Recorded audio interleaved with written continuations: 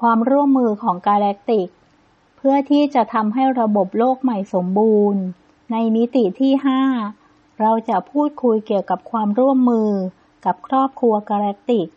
อย่างไรก็ตาม กระบวนการนี้จะทำทีละขั้นตอนและระมัดระวัง เพราะจิตสำนึกของคนส่วนใหญ่ ยังไม่พร้อมสำหรับมัน มันต้องใช้เวลาสำหรับผู้คน ที่จะยอมรับ และตระหนักถึงสิ่งที่เกิดขึ้นบนโลกของพวกเขา เป็นพันปี การเปิดเผยของความจริงนั้น เป็นกระบวนการที่ซับซ้อน โดยเฉพาะอย่างยิ่ง เพราะหลักฐานจะพิสูจน์ให้เห็นว่า น่ากลัวและคาดไม่ถึง ต่อผู้คนส่วนใหญ่ บนโลกใบนี้ เฉพาะเมื่อความโกลาหลที่หลีกเลี่ยงไม่ได้ ที่ก่อให้เกิดการประทะ กันรุนแรงมาก สิ้นสุดลงแล้ว จะเป็นไปได้หรือไม่ที่จะเผยแพร่ข้อมูล ในขั้นตอนต่อไป ในเวลานั้น มันจะเป็นไปได้ที่จะบอกผู้คนเกี่ยวกับข้อเท็จจริง ที่ว่ามนุษย์ต่างดาวมีอยู่จริง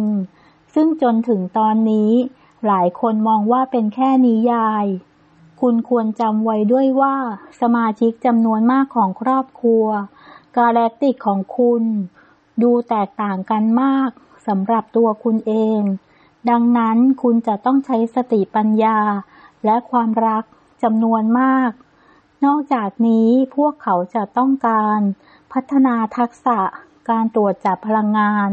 ของพวกเขา เพื่อให้พวกเขาสามารถรู้สึกถึงความสัมพันธ์ กับสิ่งมีชีวิตที่แปลกใหม่อื่น ๆ กล่าวอีกในหนึ่งคือ มนุษยชาติจะต้องใช้เวลาในการทำความคุ้นเคย กับพื้นที่ที่มีพลังงานใหม่ และเพื่อให้สามารถจัดระเบียบชีวิตของพวกเขาเองที่นั่น เพราะหลังจากนี้เท่านั้นที่พวกเขาจะสามารถเริ่มพบปะเพื่อนบ้านกาแล็กซี่ของพวกเขาได้ แต่ไม่ใช่วิธีนี้ ไม่ได้หมายความว่าในช่วงนี้จะไม่มีการติดต่อระหว่างคุณ และพี่น้องชาวกาแล็กซี่ของคุณ แน่นอนว่าจะมีอารยธรรมที่พัฒนาสูงขึ้น ที่จะยังคงสนับสนุนคุณ เช่นเดียวกับที่พวกเขาได้ทำมาตลอด แต่มันจะผ่านคนที่เป็นมิตร และเชื่อถือได้เท่านั้น นี่คือวิธีที่ในช่วงแรกนี้ พวกเขาจะได้รับความช่วยเหลือในรูปแบบของเทคโนโลยีขั้นสูง ซึ่งจะถูกนำเข้ามาในชีวิตของพวกเขา โดยผู้เชี่ยวชาญที่ได้รับการฝึกอบรม เป็นพิเศษจากพวกเขา ในขั้นต่อมาเมื่อจิตสำนึกของสิ่งมีชีวิตมิติที่ห้าถูกฝังลึกอยู่ในจิตสำนึกของมนุษย์ นั่นคือเมื่อมีจิตสำนึกแบบยูนิโพล่าซึ่งไม่ได้แบ่งแยกใครจากภายในและภายนอก มันถูกผลิตของธรรมชาติส่วนตัว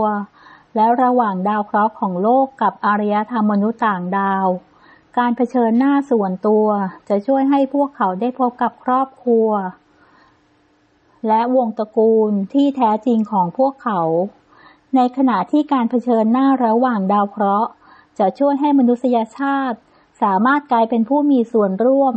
ในองค์กรและสังคมระหว่างกาแล็กติกโดยตั้งใจที่จะให้ความช่วยเหลือซึ่งกันและกัน และการประสานงานในการดำเนินการ ในกรณีที่มีอันตราย นี่คือวิธีที่พวกเขาจะเลือกตัวแทนระดับสูงของประเทศของพวกเขาสำหรับสภาผู้สูงอายุ สภาผู้สูงอายุระดับโลก จะส่งตัวแทนระดับสูงของพวกเขา ไปประชุมคณะกรรมการ ที่ ที่รักในแง่ของเวลาของโลก สิ่งนี้จะเกิดขึ้นอย่างรวดเร็ว ภายในไม่กี่ทศวรรษ ในขณะเดียวกัน ในเวลานี้ พยายามใช้ชีวิตอยู่ในช่วงเวลาของที่นี่และตอนนี้ทำทุกวิถีทาง เพื่ออำนวยความสะดวกชัยชนะของกองกำลังแห่งแสงสว่างบนโลก เพื่อให้การเชื่อมโยง